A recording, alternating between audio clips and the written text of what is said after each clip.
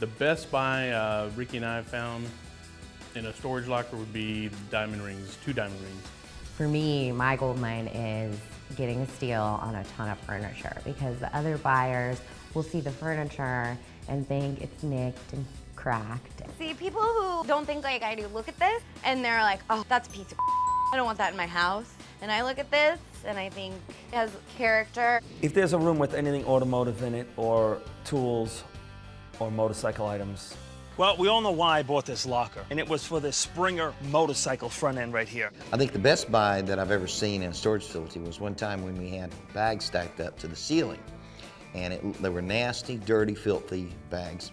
And as they pulled them down, they found a 72 convertible Mustang parked behind it. when I bought the Danish bar from Lesa, and I was able to put that in my gallery and sell it uh, because I actually didn't find it.